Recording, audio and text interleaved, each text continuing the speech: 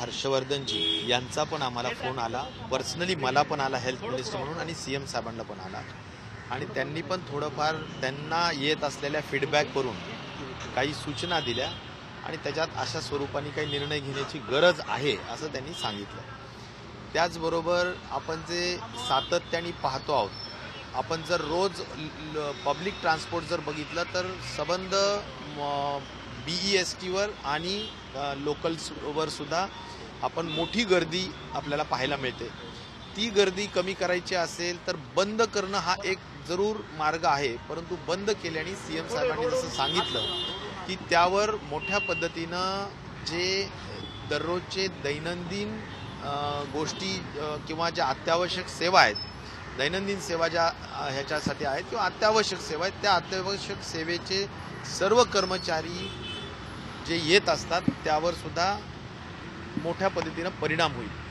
जसे आपण म्हणालो की साधारणपणे आपण डॉक हॉस्पिटल्स आहेत प्रायव्हेट हॉस्पिटल्स आहेत गव्हर्मेंट हॉस्पिटल्स आहेत त्या हॉस्पिटलला लागणारा पॅरामेडिकल स्टाफ आहे नर्सेस आहेत आणि टेक्निशियन्स आहेत किंवा पोलीस कर्मचारी आहेत साफसफाई करणारे लोक आहेत पिण्याचं पाणी सोडणारे लोक आहेत फायर ब्रिगेडचे लोक आहेत या सगळ्या लोकांची रोज आपल्याला गरज आहे. हे जर लोक त्यांच्या पब्लिक ट्रान्सपोर्टनी येत असतात ते बंद केलं तर त्यांना येण्याला अडचणी निर्माण होतील. आणि त्यामुळे शक्यतो कार्यालय मग खाजगी आणि सरकारी सुद्धा पंचवीस टक्क्यावर आणलेत म्हणजे ॲज गुड ॲज आपण ते बंद करण्यासारखेच आहेत. त्यामुळे पंचवीस टक्क्यावर सरकारी क- कार्यालय आणि शंभर टक्के खाजगी कार्यालय बंद व्हावेत. त्याचबरोबर दुकाने शंभर टक्के बंद व्हावेत. फक्त अत्यावश्यक सेवेचे दुकानं म्हणजे मग त्याच्यामध्ये किराणा दुकान असेल दुधाचे दुकान असतील किंवा छोटे मोठे रेस्टॉरंट्स असतील खाण्याच्या दृष्टिकोनातून आणि फार्मास्युटिकल्सचे दुकानं असतील रुग्णालय असतील या जर गोष्टी सोडल्या तर इतर सर्वांनी घरून बसूनच काम करावं अशी त्यामध्ये अपेक्षा आहे. एरिया जो आहे तो एरिया आहे M M R region Mumbai. त्याचबरोबर पुण्या आणि पिंपरी चिंचवड नागपूर. आज संध्याकाळी बारा वाजेपासून हा ऑर्डर फॉलो झाला पाहिजे. हे माननीय सी एम साहेबांनी ते कदाचित राहून गेलं होतं तेवढं किती वाजेपासून हे ऑर्डर फॉलो व्हावा? आज रात्री बारा वाजेपासून हा ऑर्डर फॉलो व्हावा जेणेकरून उद्याच्या दृष्टिकोनातून याचा दृश्य परिणाम दिसला पाहिजे. मी या निमित्ताने अत्यंत नम्रतेने या निमित्ताने महाराष्ट्राच्या जनतेला आणि खास करून या भागाच्या जनतेला एवढं सांगेन की जरी यामुळे काही लोकांना त्रास होईल हा जरा जाचकही वाटेल परंतु जनहितासाठी आणि जनतेच्या आरोग्यासाठी घेतलेला हा निर्णय यातला एकच मंत्र आहे या कोरोना व्हायरसला आपल्याला संसर्ग होऊ द्यायचा नसेल तर आपण सोशल डिस्टन्सिंग ठेवलं पाहिजे सुरक्षित अंतर ठेवलं पाहिजे घरी आपण सुरक्षित राहावं आणि आयसोलेटेड राहावं अशी या मागची भूमिका सर वाहतूक व्यवस्थेवरती कसे निर्बंध असणार आहे ऑटो रिक्षा टॅक्सी बसेस आणि लोकल ट्रेन्स यांची काय निर्बंध असणार आहे? मला एवढंच वाटतं की ज्या अर्थी सबंध दुकाने बंद केलेली आहेत सबंध व्यवहार बंद केलेला आहे तर त्यावेळेस लोकांना बाहेर फिरण्यासाठीचं फार काही कारण नसतंच. अपेक्षा हीच आहे की मुंबईकरांनी घरीच राहिलं पाहिजे पुणेकरांनी घरीच राहिलं पाहिजे पिंपरी चिंचवडकरांनी घरीच राहिलं पाहिजे नागपूरकरांनी घरीच राहिलं पाहिजे. परंतु जे कोणी बाहेरून येणारे लोक असतील काही डॉक्टरकडे जायचं आहे काही हॉस्पिटलला जायचं तर त्यांच्यासाठी या गोष्टी चालू राहायला हरकत नाहीये. परंतु त्या सुद्धा कमीत कमी प्रमाणावर रोडवर याव्यात हीच त्यामागची अपेक्षा. सर अनेक कंपन्यांना अधिकृत सर्क्युलेशन कधीपर्यंत दिलं जाईल? कारण त्यांचा सवाल असा आहे की आम- आमच्यापर्यंत अजून अधिकृत सर्क्युलेशन आलेलं नाहीये. आज माननीय मुख्यमंत्र्यांनी केलेली घोषणा ही अधिकृत सर्क्युलेशनच समजावे कारण आपल्या राज्यामध्ये epidemic disease act ninety eighteen ninety seven लागू आहे. माननीय मुख्यमंत्री हे राज्याचे प्रमुख असतात. त्यांनी सांगितल्यानंतर ते अधिकृत सर्क्युलेशन आहेच. आणि त्या अनुषंगाने जे जे काही अधिकृत सर्क्युलेशन पाठवण्याची व्यवस्था आहे ती चीफ सेक्रेटरी या प्रेस कॉन्फरन्सला उपस्थित होते. ते सुद्धा संबंधित पूर्ण प्रशासकीय विभागांना आणि कार्यालयांना आजच्या आज आत्ताच्या आत्ता ते सर्क्युलेशन्स काढले जातील. आणि मला वाटतं की ते अधिकृतपणे ताबडतोबीनं कळवले जाईल. जे ऑफिसेस सुरू ठेवतील त्याच्यावरती थेट कारवाई करणार का? कारण अनेक जण म्हणतात की आमच्या निश्चित प्रकारे मला असं वाटतं की हा अत्यंत एक क्रायसिस आहे. महत्त्वाचा एका गंभीर डिझीजच्या संदर्भात आपण हा निर्णय घेतलेला आहे. हा पूर्ण जगाला व्यापलेला हा आजार आहे. आणि त्या दृष्टीनं मला वाटतं सर्वांनी गांभीर्यानं घ्यावं. आणि मला विश्वास आहे की महाराष्ट्र एक सुसंस्कृत आणि जागरूक आणि शिक्षित राज्य आहे. याची अंमल निश्चित प्रकारे लोक करतीलच. असा मला विश्वास. राज्य सरकारच्या कर्मचारी पंचवीस टक्क्यावर आलेले आहेत पण केंद्र सरकारचे जे कर्मचारी आहेत पूर्णपणे काम करत आहेत. ओएनजीसीचे कर्मचारी असून दे एमटीएनएलचे कर्मचारी असून दे पूर्णपणे काम करताना दिसत आहेत. ते फॉलो करत नाहीयेत ऑर्डर मला असं वाटतं की ते केंद्र सरकारचे कार्यालय जे महाराष्ट्रात आहेत त्यांनी महाराष्ट्र सरकारच्या या निर्णयाला अंमल करण्याची आवश्यकता आहे. आणि म्हणून केंद्र सरकारच्या संदर्भात सुद्धा हे निर्णय लागू राहतील. आज माननीय पंतप्रधान श्री नरेंद्र मोदीजी महाराष्ट्राच्या मुख्यमंत्री आरोग्यमंत्री आणि देशातील पाच महत्त्वाच्या राज्यांच्या मुख्यमंत्री आरोग्यमंत्र्यांना व्हाय- व्हिडिओ कॉन्फरन्सिंग करत आहेत चार वाजता. त्या अनुषंगाने हा मुद्दा त्यावेळीसुद्धा सांगण्यात येईल. अन्य काही राज्याचे जे महत्त्वाचे मुद्दे आहेत की ज्यामध्ये आम्हाला नंबर ऑफ त्या त्या ठिकाणी टेस्टिंग्सचे लॅबॉरेटरीज वाढवायच्यात त्याची परमिशन ही आय सी एम आर म्हणजेच आरोग्य विभाग public health department government of इंडियाकडून मिळते ती पण मागणी आपण करतो आहोत. किट्स जे गव्हर्नमेंट ऑफ इंडिया यासाठी देतात ती पण मागणी आपण त्या ठिकाणी करतो आहोत. आणि सर्वात महत्त्वाचं जे काही आपलं फायनान्शियल इयर क्लोजिंगचा हा पिरियड आहे एकतीस मार्च. आणि त्यामुळं गव्हर्मेंट ऑफ इंडियाच्या फायनान्स डिपार्टमेंट म्हणजेच फायनान्स मिनिस्टरला सुद्धा माननीय मुख्यमंत्री बोललेत. आणि त्यांच्याही निदर्शनास आणून दिलं की इन्कम टॅक्स रिटर्न्स भरायचे आहेत. हे फायनान्शियल क्लोजिंग असल्यामुळे एकतीस मार्चच्या खूप काही गोष्टी आपल्याला करायच्या असतात. आणि त्या सगळ्या जी एस टीचे विषय असतात. या सगळ्या अनुषंगाने आपल्याला काही एक्सटेन्शन देता येईल का?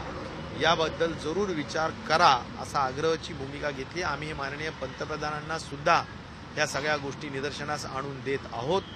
मला विश्वास आहे की त्याबाबतीतली गांभीर्याने नोट केली जाईल आणि या सगळ्या गोष्टी निश्चित प्रकारे वेळेचा महत्त्व लक्षात घेऊन योग्य तो निर्णय केंद्र सरकारकडून घेतला तर मुंबईची लाईफलाईन म्हणून लोकल सेवा आणि बस सेवा ओळखली ओळखली जाते. ती पूर्णपणे बंद होईल सुरूच राहणार कारण काही अंशता त्यांच्या फेऱ्या ज्या कमी केल्या जाणार. काय नेमकं केलं? यामध्ये आज प्रदीर्घ चर्चा झाली आमची आणि माननीय मुख्यमंत्र्यांचंही आणि स- चीफ सेक्रेटरी आम्ही सगळेच जण होतो. या सगळ्यांमध्ये एकच असा विचार झालेला आहे की आज आपण त्या ठिकाणी लोक जर व्यापारासाठी कामासाठी कुठल्याही कारणासाठी जर बाहेर जाणारच नसतील तर रेल्वे लागणार कशाला? पण तरीसुद्धा या सर्व परिस्थितीच्या अनुषंगाने ही पण विनंती केलेली आहे मुंबईकरांना पुणेकरांना नागपूरकरांना की बाबांनो काही करून ही काही सुट्टी समजू नका आणि सुट्टी समजून तुम्ही चौपाटीला बसलायत गर्दी करतायत गेटवेला जातायत गर्दी करतायत हा काही यामधला उद्देश नाही. आणि त्यामुळे अशी जर गर्दी होणार असेल तर one forty four I P C खाली सुद्धा त्या ठिकाणी जमावबंदीचा आदेश लागू करावा लागेल. आणि ही गर्दी जर आता दोन दिवसाचा आम्ही एक अवधी देतो आहोत. जर ह्या दोन दिवसामध्ये ही गर्दी कमी होत नसतानीचंच चित्र दिसत असेल तर शंभर टक्के आपल्याला लाईफलाईन मुंबई म्हणजेच लोकल ट्रेन्स आणि बी एस टी सुद्धा बंद करावी लागेलच आणि त्याला ना इलाज असेल. ऑटो रिक्षा टॅक्सी चालक ऐकत नाही आहेत अनेक ठिकाणी त्यांची जे वाहनतळ आहे ते फुल दिसतात आणि तिथे ड्रायव्हर मोठ्या संख्येने असतात तिथे. मला असं वाटतं की इन जनरल फार मोठा निर्णय आज घेतलेला आहे. To combat corona to contain corona मला असं वाटतं या निर्णयाचं आपण एक एखादा दिवस आज रात्रीपासून तो अंमल होतोय. उद्याचा दिवस ऑब्झर्व करूया परवाचा दिवस ऑब्झर्व करूया. आणि जर आपल्या निरीक्षणात असं आढळलं की आपल्याला यापेक्षा सुद्धा अधिक कठीण कर निर्णय घेण्याची गरज आहे. तर जसं केंद्र सरकारने सुद्धा सांगितलंय काल पान माननीय पंतप्रधानांनी सुद्धा सांगितलंय आणि आज मुख्यमंत्री महोदयांनी सुद्धा त्यांच्या पी सीमध्ये सर्व महाराष्ट्राच्या जनतेला सांगितलंय की बाबांनो रस्त्यावर येऊ नका पब्लिक ट्रान्सपोर्ट वापरू नका संसर्ग टाळा आणि त्या दृष्टिकोनातून आपण मला वाटतं सगळ्यांनी सरकारला सहकार्य करावं. मला वाटतं की हे जर झालं तर अधिक जे काही न रुचणारे निर्णय ते आपल्याला घेण्यापासून थांबू प्रतिबंध करता येईल किंवा थांबता येईल. परदेशातनं येणाऱ्या विमानांवर कधीपासून बंदी लागू होणार? बावीस तारखेला माननीय पंतप्रधानांनी सांगितलंय की no flights will land in the entire country from म्हणजे एनी इंटरनॅशनल फ्लाईट आणि कुठल्याही देशातून जरी आले तरी त्यांना लँडिंग व्यवस्था आपल्या देशामध्ये केली जाणार नाही. एक अत्यंत महत्त्वाचा निर्णय घेण्यात आलेला आहे. कारण आपल्याकडे जर महाराष्ट्राचं उदाहरण घेतलं तर आता जे बावन्न लो रुग्ण आहेत त्या बावन्न पैकी जवळजवळ नऊ रुग्ण जर सोडले तर सगळे इम्पोर्ट झालेलेच रुग्ण आहेत. एकही इथे संसर्ग झालेले रुग्ण फक्त नऊच आहेत. याचा अर्थ इम्पोर्ट रुग्ण थांबवण्याची आवश्यकता होती.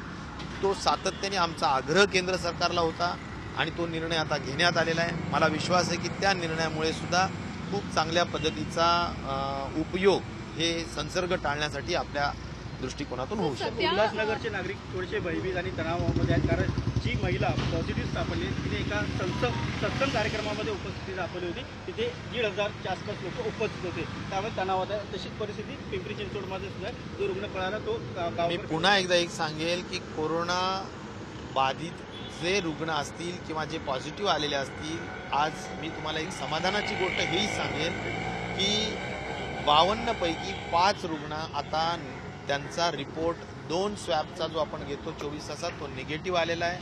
त्यांना डिस्चार्ज देण्याची व्यवस्था केली जाते आणि त्यामुळे हा आजार निश्चित बरा होतो. यामध्ये खूप अशी एकदम घाबरून जाण्याची परिस्थिती नक्कीच नसते.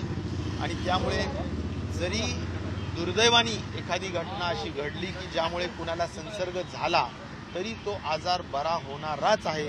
यामध्ये ज्येष्ठ नागरिकांनी लहान मुलांनी काळजी जरूर घेतली पाहिजे.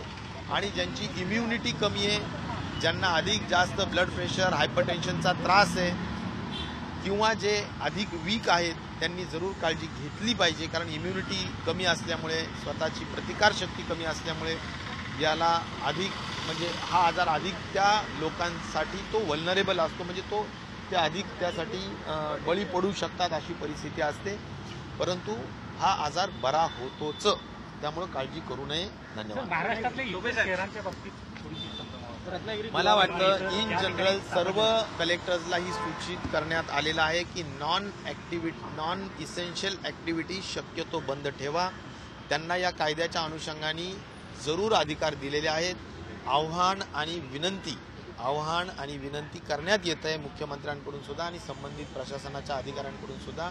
लोकप्रतिनिधी सुद्धा सातत्याने आपापले आमदार वगैरे सुद्धा त्या ठिकाणी जाऊन विनंती करतायत. मला विश्वास आहे की नॉन एसेन्शियल ज्या ऍक्टिव्हिटीज आहेत त्याला जरी रोख लागला संबंध महाराष्ट्रात तरी सुद्धा त्यामुळे काही अडचणीचा विषय नाही. थोडा जरी त्रास झाला त्यामुळे आठ दहा दिवस एकतीस तारखेपर्यंत तरी हरकत नाही.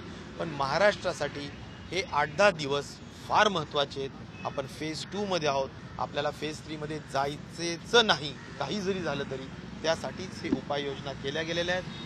आपण सगळ्यांनी प्रतिसाद यासाठी सकारात्मकच द्यावा आणि सहकार्य करावं अशी नम्र विनंती. साहेब रात्री बारा पासूनचं एकदा फक्त निवेदन एकदा पुन्हा करा. रात्री बारा नंतर कशा प्रकारे? आज जे संपूर्ण कार्यालय बंद करण्याचा निर्णय Mumbai M M R region Pune Pimpri Chinchwad Nagpur या सर्व ठिकाणी घेण्यात आलेले आहेत. या निर्णयाची अंमल आज एकतीस आज तारखेला म्हणजे आजची तारीख आहे वीस तारखेला रात्री बारा वाजेपासून या निर्णयाची अंमल होईल. याची गांभीर्याने सगळ्यांनी नोंद घ्यावी आणि कुठल्याही परिस्थितीत कार्यवाही किंवा कारवाई टाळण्यासाठी याला आपण पूर्णपणे सहकार्य करावं प्रतिसाद देऊन सहकार्य करावं आणि आपले आपले कार्यालय बंद ठेवावेत लोकांना बाहेर पडण्यापासून प्रतिबंध करावा घरीच आपण सर्वांनी सुरक्षित राहावं. धन्यवाद.